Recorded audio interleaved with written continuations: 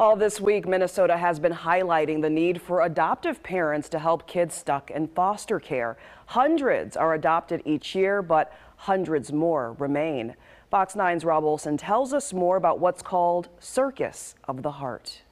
The decision to adopt a child or a sibling group um, just like becoming a parent in any other way, is a life changing experience. Nikki Farago is Deputy Commissioner of Minnesota's Department of Human Services, and all week, DHS and MN Adopt have been holding an online event called Circus of the Heart. In its 24th year and the second held virtually due to COVID, filled with activities and videos. It's your second chance or third chance, whatever.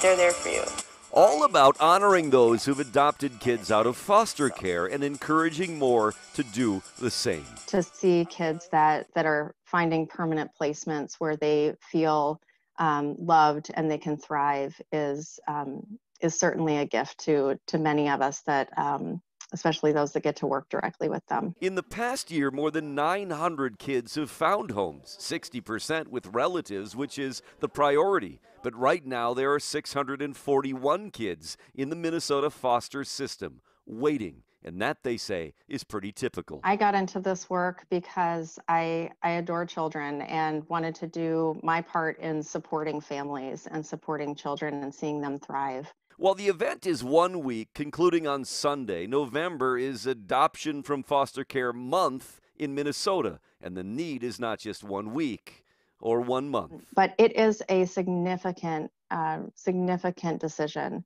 and um, one that that deserves to be explored if people are are interested. And I would ask that that if people are interested, reach out, reach out to your county social service agency or your tribal social service agency. Rob Olson, Fox 9.